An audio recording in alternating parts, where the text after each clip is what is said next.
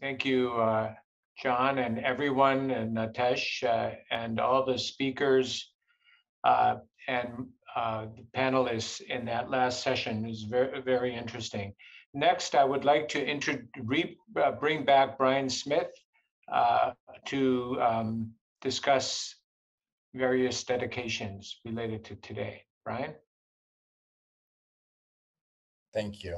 Thank you, Dr. Pelc. We often see uh, great leaders revered by everyone except by many of those closest to them. Um, in contrast, Sam was revered most particularly, I think, by those closest to him, uh, such as his longtime colleagues and his lab trainees. Uh, really, a blowtorch illuminating all these many, many great candidates, these many, many candles in his uh, extended family tree. Um, and, and, that much is clear from the number of, and especially the depth of the dedications and obituaries that have been written about him in many of the top journals in various fields. Uh, we already saw several touching dedications and talks, such as Dr. Bhatia's. Um, and so I'm just going to show a couple of a uh, couple more. Um, the Journal of Nuclear Medicine, which was kind of his, I think he saw it as his home journal. Um, he ran several stories on Sam in memoriam. Um, in fact, he was the cover uh, of JNM um, about a year ago. And his molecular imaging and, and leadership accomplishments were also uh, described very beautifully um, in the European Journal of Nuclear Medicine, uh, the Molecular Imaging and Biology Journal, um, and Cancer Research. And you know, Sam's exploits, uh, focusing more on the engineering and, and maybe nanotechnology sides, um, were recently covered in memoriam in Nature Biomedical Engineering uh, and Nature Nanotechnology. Um, finally, there have also been recent uh, research papers uh, that also have dedicated their work to SAM, um, including the recent one in uh, Advanced Functional Materials and another, as described by Dr. Bhatia, Nature Materials. Um, and, and all of this really is to say, um, we, his, his trainees and his colleagues, miss him dearly. Um, please, uh, Dr. Gold, thank you. Thank you so much, Brian, and thank you to all the speakers in this uh, terrific session, and indeed all the speakers today. Um, the talks and the discussion today, you've heard a great deal about Sam as a scientist, a clinician, a visionary, a mentor, and a person. And I think this symposium has been a really fitting tribute to his legacy. As we prepare to close the symposium, I'd just like to reflect for a moment on Sam's impact as a leader. Sam transformed the vision and scope of the radiology department at Stanford in a manner such that we are now aligned with his overall vision of molecular imaging, early disease detection, and precision health. And he did this in a very short amount of time, only a period of 10 years as he was chair. He's inspired many of our faculty, staff, students, and people in the community to follow that vision. I've spent the last 10 years working with Sam as a leader, and he was the best mentor I've ever had. I say mentor instead of boss or leader because I always felt like Sam was my mentor, constantly working to improve the leadership skills of myself and everyone around him. He was a natural born leader and a natural person to bring people together prior to working with Sam, I had not really led anything other than my own lab. And he really taught me everything I know about being a leader. Some of the things that I learned from Sam are that he understood people and deeply cared for everyone. Sometimes, even at Stanford, we deal with faculty who can be difficult but Sam always looked at the positive qualities in everyone he interacted with. His generosity of spirit and willingness to spend time and energy with people was really boundless. His vision of leadership was that of a servant leader. He was always asking, What can I do to improve things for people? The faculty, the staff, the students.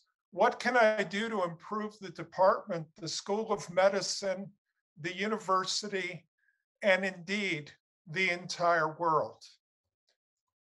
I really learned so much for him, from him.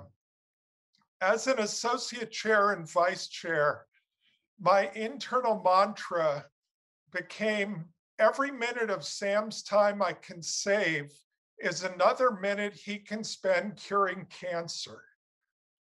He didn't ask me to do that for him his vision, his selflessness, his warmth inspired me to want to help him achieve his goals in that way.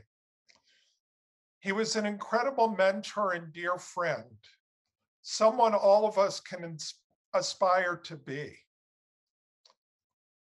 Thank you today for all the speakers but most of all to Sam for your friendship, support, mentorship, and inspiration. We all miss him dearly. Thank you. And now I'd like to turn it over to Joseph Wu. Joe. Thank you, Garry. Um, like, Garry, I want to sincerely thank each and every one of you for attending today's uh, symposium to celebrate uh, Sam's legacy. I want to thank the speakers and moderators uh, for taking time from their busy schedule uh, to partake in this event. I also want to thank uh, Katie Pontius and Ashley Williams for assisting Garry, Norbert, and I in organizing uh, this year's event. I hope to see all of you next year as we continue this tradition of celebrating Sam's legacy. Lastly, I also want to thank Aruna, who has suffered the most but has remained so strong and so brave uh, throughout. Aruna, you are a courageous woman, wife, and mother who deserves all the love and blessings. Thank you for your generosity for sharing Sam with us. We hope you can take comfort knowing that Sam has touched lives so many people. We're very grateful for you and want to know that you have all of us, especially Sam's trainees, as your family. Thank you, Aruna. Back to you, Norbert. Thank you, Joe uh, and Garry. Uh, I want to add my thanks to the speakers and moderators, presenters, uh, and to the staff who ensured that this complex production went flawlessly.